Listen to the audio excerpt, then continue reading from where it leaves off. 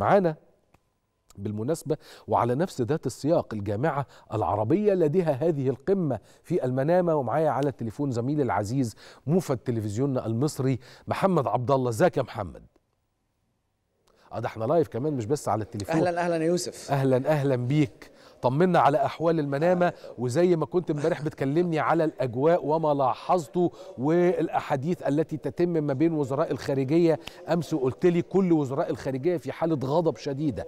الآن وصل إليكم القادة والزعماء وفخامة الرئيس يعني وصل سالما وبأمر الله غانما إلى المنامة.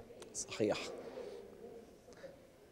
إن شاء الله إن شاء الله. قولي. آه نعم يوسف يمكن آه كنت بتابع حديثك دلوقتي الحماسة واللي بتتكلم عليها اللي موجودة لدى الشباب في آه الدول الغربية وفي الولايات المتحدة الأمريكية. هذه الحماسة هي موجودة أيضا هنا في آه آه قمة المنامة. الأمين العام لجامعة الدول العربية بيستمر في التصريحات الجريئة حقيقه. والمتحمسة للغاية للتعامل بحسم مع ملف القضية الفلسطينية، الأمين العام النهارده وصف ما يحدث من الجانب الإسرائيلي بأنه سياسة فصل عنصري، كنا بنتكلم امبارح عن تطهير عرقي تحدث عنه الأمين العام، صراحة النهارده بيتكلم عن سياسة فصل عنصري ممارسات خارجة عن الزمن مثلما أشار الأمين العام لجماعة الدول العربية تقوم بها أو يقوم بها الجانب الإسرائيلي تجاه المواطنين في قطاع غزة.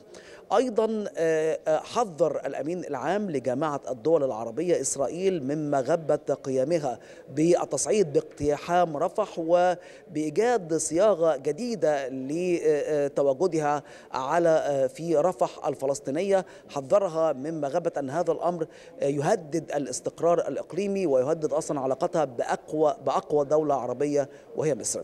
اكتملت اكتمل المشهد هنا بوصول القادة والزعماء ثلثي القادة والزعماء يشاركون في هذه القمة من لم يحضر من الرؤساء والزعماء العرب هناك وفد رفيع المستوى يشارك في هذه القمة على مستوى رئيس الحكومة ورئيس الوزراء ومن ثم مؤشرات إيجابية وتطلعات إيجابية للخروج بقرارات هامة للتعامل مع التطورات الحاصلة في الأراضي الفلسطينية.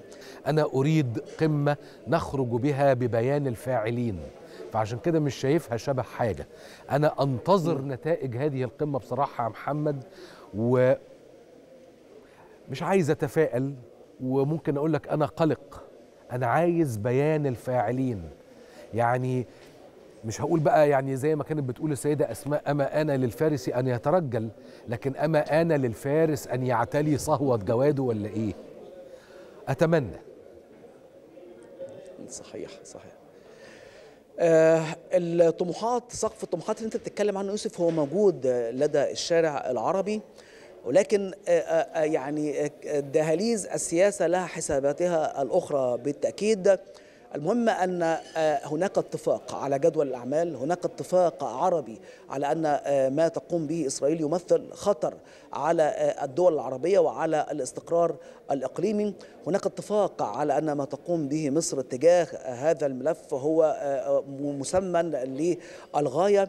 وهناك إحساس بأهمية ودور مصر فيما يتعلق بالاستقرار في المنطقة ككل. الجميع هنا يتابع ويشاهد حالة ربما نستطيع أن نقول التوتر التي قد تحدث بين الحين والآخر في منطقة الشرق الأوسط وهناك خوف. أنا أتحدث هنا عن الشارع وليس أتحدث عن السياسيين، هناك خوف من أن ينقلب الاستقرار في بعض من الدول الأخرى إلى حالة من عدم الاستقرار ويلقي بظلاله على الأمن الذي يعيش فيه المواطن العربي. ومن ثم القضية الفلسطينية والملف الفلسطيني والتطورات الحاصلة هي أحيت.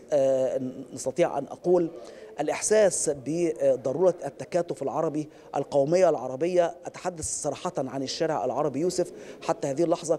هناك إحساس بضرورة التكاتف والتكامل ولم الشمل وأن يكون هناك رؤية موحدة ومش عايز أقول اوصل اصل معاك لأن لابد من دعم مصر دعم كامل للتعامل مع ملف القضية الفلسطينية، هذا ما لمسته من الشارع العربي ومن حديثي من الإعلاميين من مختلف الدول العربية يتحدثون بنفس الطريقة وبنفس اللغة، اللغة وكأن هناك اتفاق على أن المخاطر لابد أن تتعامل يتعامل معها العرب يدا واحدة. صحيح أنا أتفق معاك 100% وأنت مش شايفني لكن أنا اللي شايفك فأنا كنت بشاور لك يعني إيه بالعلامة بتاعت كده عظيم رائع.